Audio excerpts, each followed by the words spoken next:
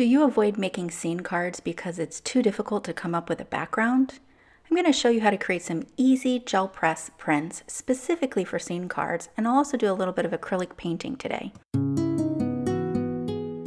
Hey guys, it's Amber Rain Davis from NotableInk.com. Welcome back to the channel. I'm looking at Summertime Birthday from Colorado Craft Company and figuring out how I want to create my scene. I see that I'm going to need the water in the pool, the sky, and then also the pool deck for her to stand on. So I'm going to need three different areas in my gel press print. I have a 5x7 gel press and I pulled this print to clean off my plate after my last session. So I'm going to use that as my base layer. I'm putting down Ocean Green acrylic paint from Master's Touch, and that's a semi-opaque paint. And then on my base layer is a matte acrylic paint, so we have two different finishes here. Now, I peeled off some of the paint on my brayer, you can see it there, and so the edge of that paint is creating a texture on my gel plate. Now, that's not what I intended. I just gave up trying to peel off the rest of the tape, or the rest of the paint, and here you can see I'm trying, I've got a couple bubbles underneath my gel press and I'm just trying to push those out with the brayer. Clearly I wasn't very prepared for this session, but we're going with it anyway. And I kind of dig the texture that the brayer is putting on there. Here I have a crumpled up piece of um, deli paper. Deli paper is what you use to wrap up your sandwiches. Here's a fresh piece of deli paper. And as always, I'll have all of the supplies linked down below for you guys. I just used that to pull off some of the paint. I didn't want to completely cover up this green. Again, that's gonna be my sky up above, and I wanted a different color. I wanted the color at the bottom of this to be more blue than green for the pool water. And then in, up in the sky, I wanted a mix of that turquoise or ocean green and then that flat paint green that we used for the base layer.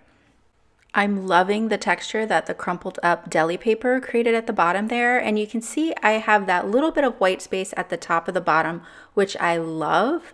And I want to preserve that. So I just put a piece of post-it tape over that.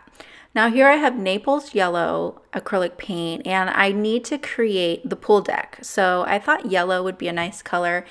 Here I just have a kind of like a handmade stamp going on here. So, and I'll show you that a little bit later. Um, basically, I just took a die and cut up some sticky back foam tape and just adhered it to a piece of chipboard and created my own stamp that way. So I was using the stamp packaging to figure out how high up I needed to go with this yellow and I'll go ahead and press that down. Now, I wish I had turned my card the other way around so that I would have gotten the more organic edge at the top of this um, but I wasn't really thinking. And so, but I did get pretty much an organic edge at the top of that anyway. So here you can see I'm just double checking, make sure that I have that in the right place for the pull deck and that transition. This is Buff Titanium Light and I let that dry for just a few seconds and then added some Venetian Rose I'm going to take off a little bit of that Venetian rose and then of course we have the buff titanium under that and I'll use that same handmade stamp to just create a little bit of texture here. It's almost like a stamped concrete texture if you will except for we're going with pink and yellow here. So you can see I have more of a harsh line at the top of the pink. Here I'm pulling off my post-it tape. Never in my life have I ever had post-it tape tear a, a piece of cardstock or paper, but this was still a little bit wet. So um, I'm just using some collage medium or gel medium to just put that flat back down and you can't even tell that it ever tore. looks like it never happened. So I decided that I would pick up some of this extra paint left on the gel press. So I'm just gonna kind of pull it off in just small areas and make it a little more distressed at the bottom. It was looking a little too contrived, a little too pre-planned, and I wanted to have more of a distressed look. So I'm just gonna pull it off in sections. Now it still looks like it's pretty, I don't know, it's too perfect, I guess. So I put down a little more of that Naples yellow and I'm just gonna use that as a stamp pad and pull up the acrylic ink and then just stamp it down on the print here. That I'm liking a lot better. We've got more texture at the bottom. Looks really nice. So I'm just double checking again my placement and I'll stamp the image with StazOn Midnight Blue ink. This is a solvent ink that's good for non-porous surfaces, so it's perfect on top of acrylic paints. It dries super fast, so there's little to no chance of it smearing. I'm contemplating whether to just leave it like this or actually to fill in some of these areas and paint it. So I grabbed my Caran d'Ache Neocolor 2 crayons, and these are water-soluble wax crayons. They work a lot like watercolors. Um, you just use a wet brush and activate them. And I'm finding they're too transparent, which makes sense, right? Because watercolor is transparent. So these aren't really working for me. They weren't giving me the punch that I was going for, and I feel like her legs look more yellow on top of blue, which is exactly what it is. So I just have a baby wipe here and I'm just gonna wipe it away. And you can do that because this cardstock is coated with acrylic paint. I'm working on Neenah Classic Crest Solar White. It's just a regular cardstock. So I decided that I should paint it with the acrylic paint. I mean, that's a no-brainer, you guys, but I have never in my life painted with acrylic paint. So it did not occur to me at all to do that at first. So I'm using all the same colors that I used in the actual printing process and I'm going to use the um, Buff Titanium Light. I'll mix that with a little bit of the pink and um, I did my next card with a light skin tone too because I was sticking with the same color palettes but I should have totally mixed in some burnt sienna and given her a warmer skin tone um, to just change things up. So if you're looking for a darker skin tone, burnt sienna would be a good color to mix it with. I did find that the acrylic paint was a little thick, especially for that soft brush that I was using. So I, I made sure that I wet my brush and watered it down just a little bit. It also didn't dawn on me until now that you can actually paint light over your dark colors with acrylic paint. So I'm so used to watercolor that everything was looking really flat until I realized that and started adding some highlights back in. So don't forget that you can go dark to light. I'm stamping this sideways to avoid getting paint on my MISTI. I highly recommend that you use a stamp positioner and leave your stamp in your MISTI until you're done with your card because then you can stamp it again after coloring and bring back those crisp lines that might get obs obscured with your coloring. I love how this turned out. I think it's a super unique look. Let me know if you're going to try acrylic painting on your cards in the comments down below. I will definitely try it again. If you're enjoying this video or learning something new, be sure to give me a like and subscribe down below. So this is that matte paint I was talking about. This is in the color Succulent and it's the folk art line from Plaid. You can get that at Hobby Lobby. It's that green color that I used in the first card.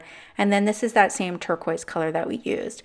We can't pass up that awesome texture at the bottom of the gel press plate that we used on the first card.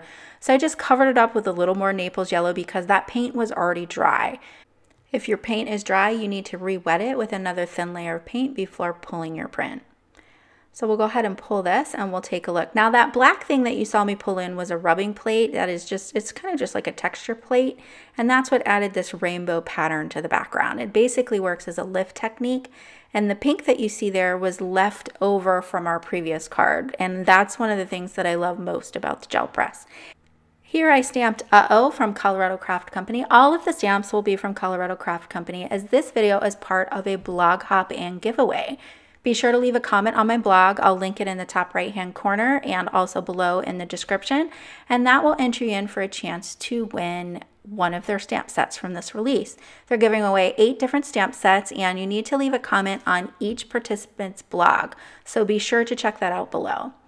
Here I'm scribbling Caran d'Ache Neocolor True crayons in Prussian blue, light blue, and I'll also add Payne's gray. And you're probably thinking, why is she using these? She already established that this is not going to work well. Well, I'm going to be painting the jeans, and because jeans kind of have a stonewash texture and they're more distressed, I'm totally okay with some of the background coming through. Also because the background is blue and green, so I think that's just going to add to the texture and the interest of the jeans. So I don't want the jeans to be a flat acrylic kind of look. Do you know what I mean? So what's really interesting about this is because I used that matte acrylic paint, these Caran d'Ache crayons react completely differently to that than they do if you just use it over regular acrylic paint that has maybe like a semi-gloss to it um, it actually absorbs into the matte paint a little bit. So you get a different finish and a different look. So if you have different types of finishes for your acrylic paints, it's definitely worth experimenting with it and seeing how your other mediums react with it differently. So you can see I'm just kind of putting some color down. Now I've wet my brush and kind of cleaned off the majority of the pigment. I'm just going to wash out some of those edges and I'll keep adding the color until I get the texture and the contrast and interest that I want. The last time I hopped along with Colorado Craft Company, I also did some gel press cards um, for the Anita Jeram release, and I got such wonderful feedback from you guys, and I hope that you guys enjoy these cards too. This would be really fun on slimline cards as well because you have all that space to create creative with. Head over to my Instagram page at Notable Ink because I'm going to be giving away this stamp set called Birthday Blessings on my Instagram account. Gel press printing has really become one of my favorite techniques, and I created a technique. Well, I guess I didn't create the technique, but I coined the term for it gel tangle, where you combine gel press printing and Zentangle. And I started an art journal series on those, so I'll link my gel printing playlist up above as well. I hear so often from people that they have a gel press, but they're too scared to use it. And I was the same way. I had mine for almost a year before I actually started using it. And hopefully, this gives you some inspiration to get started with the techniques. I used the Neocolor crayon for the ice cream cone, but for the ice cream in her skin, I ended up using the acrylic paint to make sure that none of that green background showed through. And I love the texture on this card. So I'm to super speed up some of the rest of this gel press printing. That was another rubbing plate in a different design. And I'm going to skip over some of the panels that I don't end up using because otherwise this video would just end up being way too long. So I decided to move on to some brighter colors to accommodate this stamp set. And this is a big and bold stamp set called Color My World. And I'm loving these different size brushes. I think they're so awesome. These would be beautiful to watercolor. And here I'm just trying to figure out where to put my sentiment. I had intended when I was making the gel print to run the sentiment across the top. That's why I have all that white space up, up there. But I decided I wanted the brush tips up there instead. So I just ran it sideways as well. And I think that works. There's nothing wrong with being untraditional with your cards.